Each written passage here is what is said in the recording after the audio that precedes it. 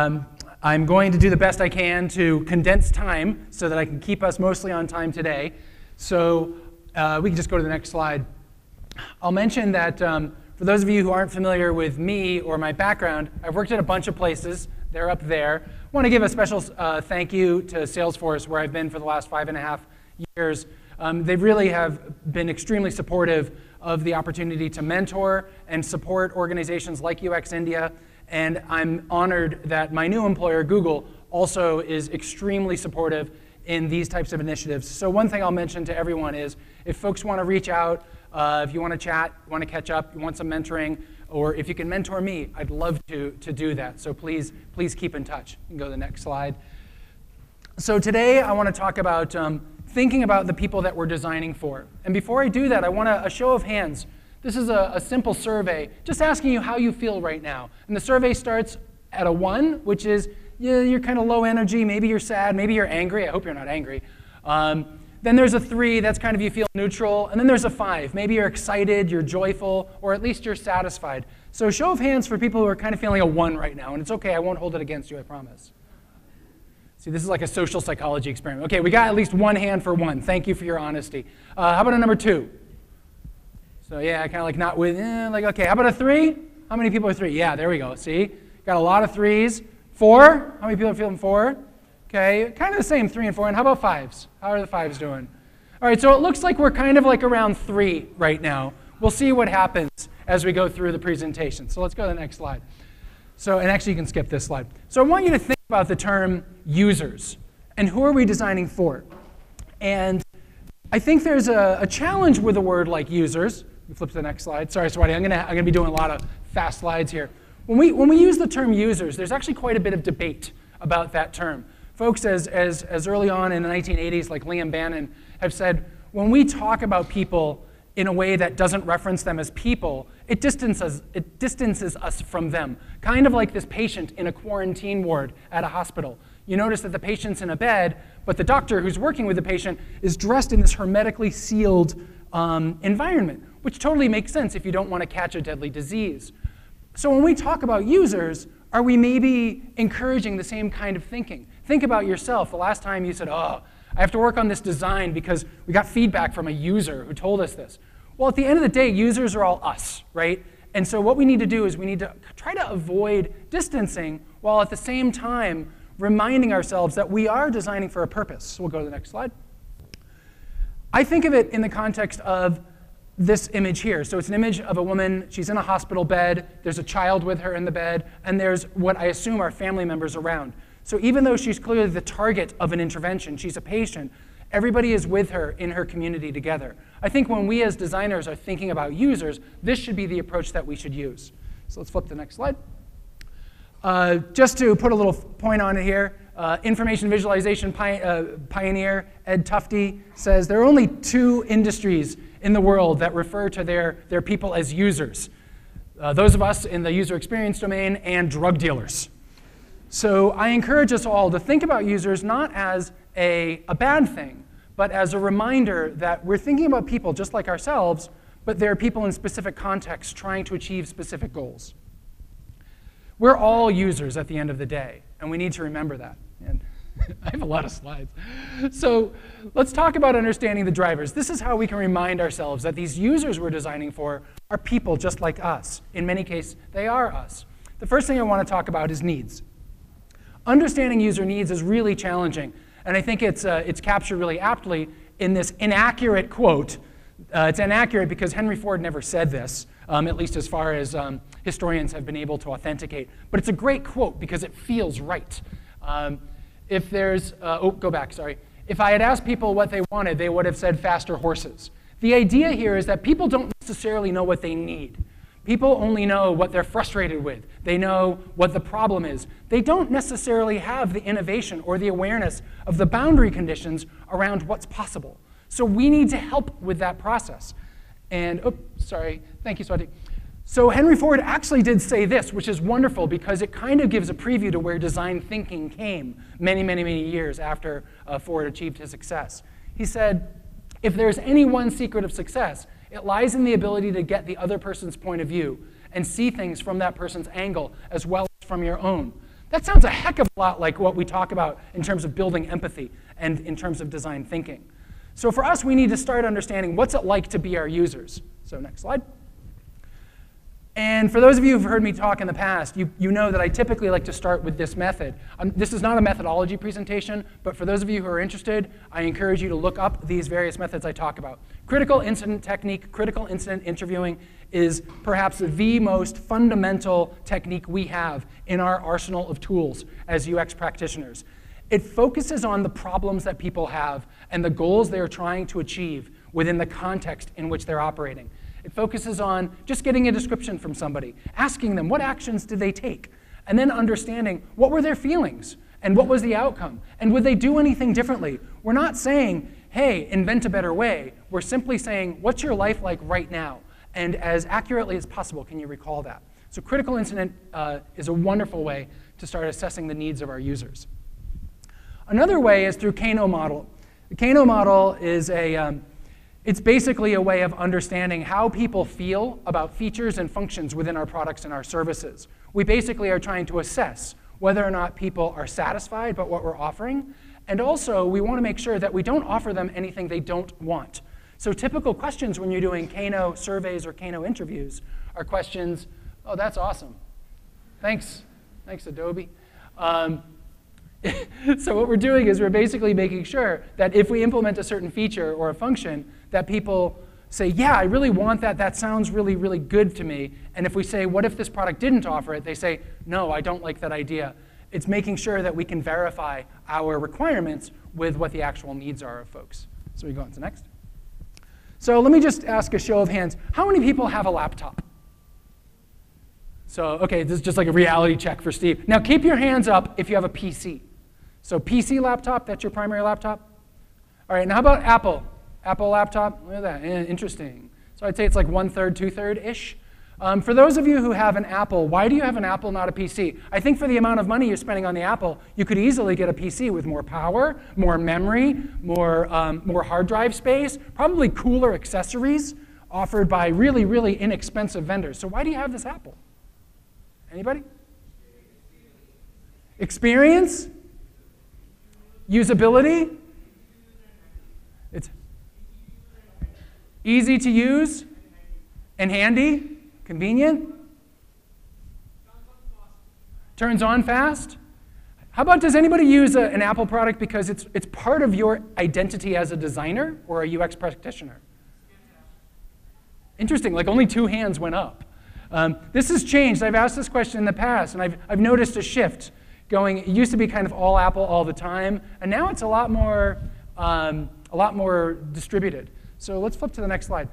When you were answering that question about what, the, what kind of computer you're using, it's interesting that most of you answered with items that are toward the bottom of what Stephen Anderson refers to as the hierarchy of UX values.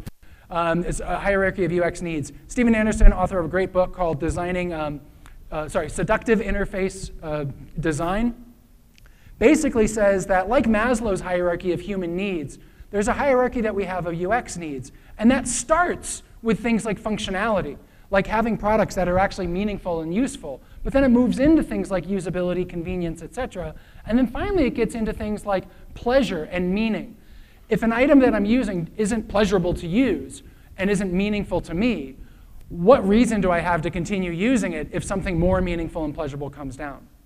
Okay, next slide. So how do we get at understanding these values? I think it comes down to the, the, the asking of a simple question, why? So in order to assess values, next slide, lots of slides here, sorry, Swati, uh, is, is laddering. Many of you have uh, heard this referred to as the five whys, right? It's basically asking questions like a two-year-old child. Why, why, why, why, why? When you ask somebody why they use something, why they prefer a certain product, they're going to give you an answer. The answer usually is an attribute. It's fast, it's convenient, it's, um, it's handy.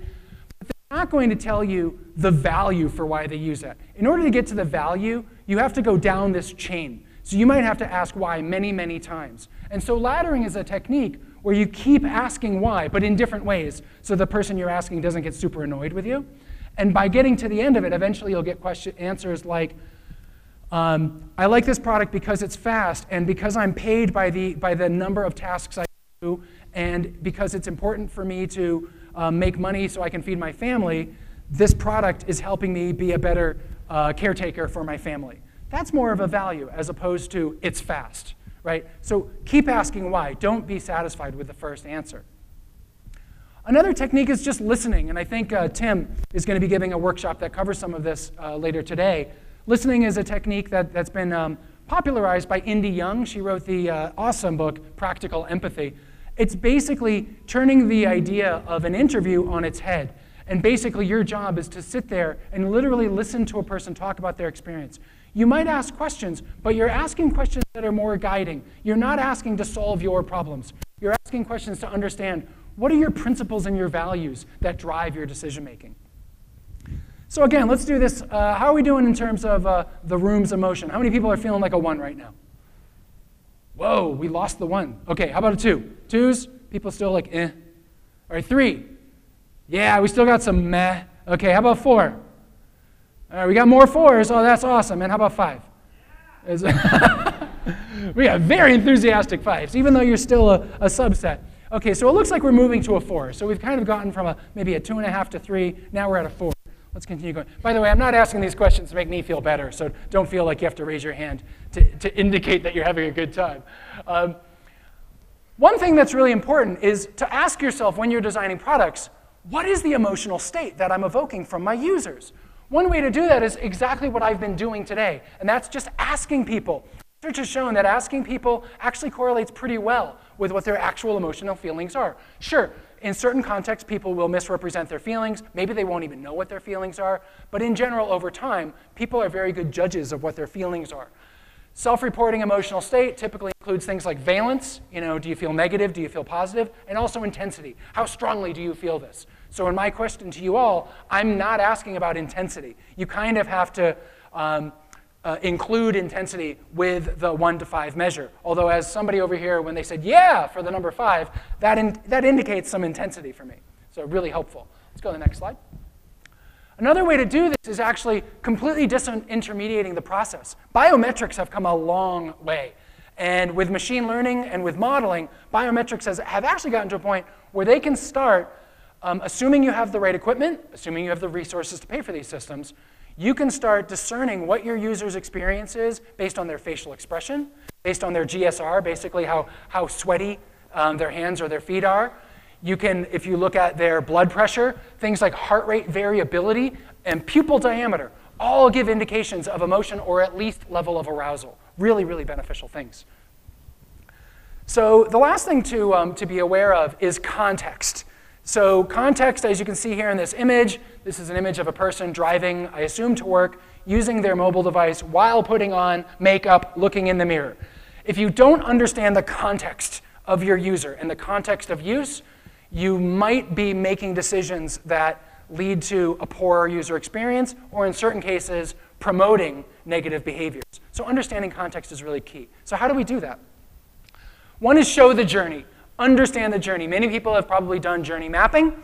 If you haven't done journey mapping, just ask yourself, what's the experience that my users have as they engage with my product? And if you don't know, um, you know, first I have onboarding, then I have setup, then I have um, configuring a bunch of stuff. If you don't know what those phases are, just do a simple framework of before, during, and after. So before they use your product, while they're using your product, after they use your product. Start there, start small.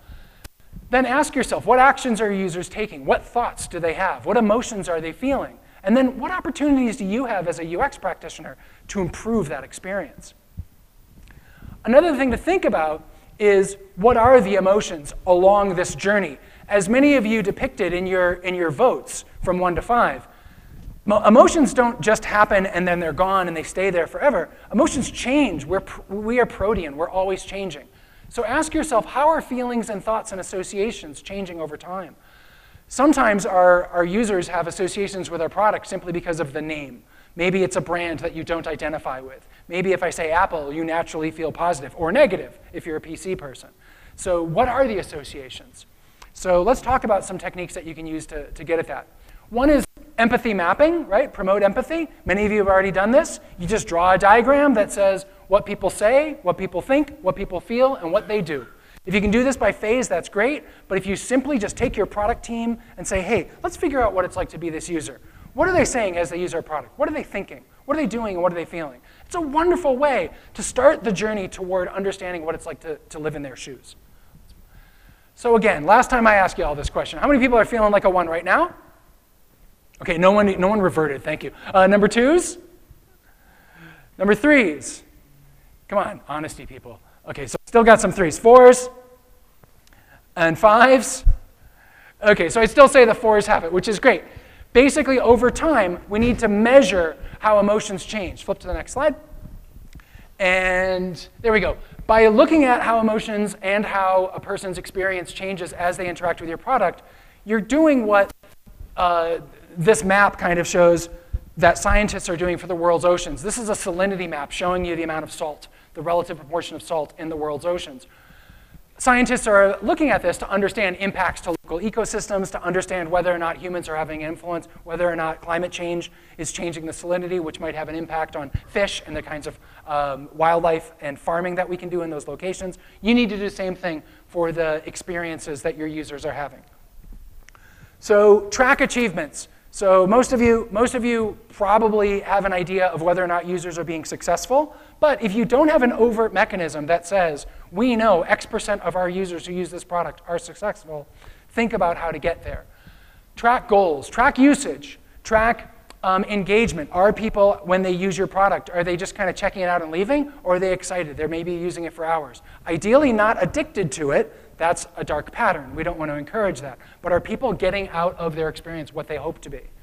Uh, also track adoption and satisfaction. What specific areas of the product are working well versus not well?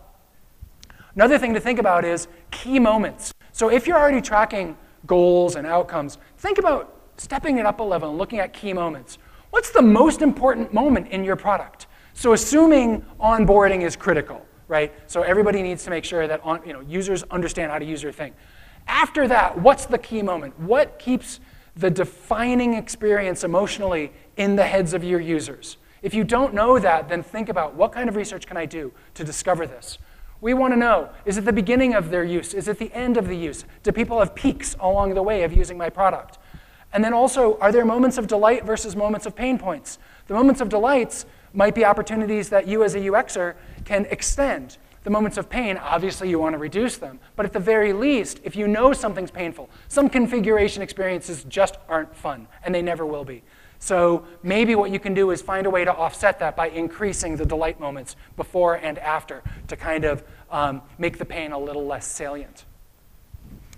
And then one thing I encourage all researchers, designers, developers, managers to do is socialize it's really critical to be mindful of what's going on with what we know for the user experience and how are we changing that in the future.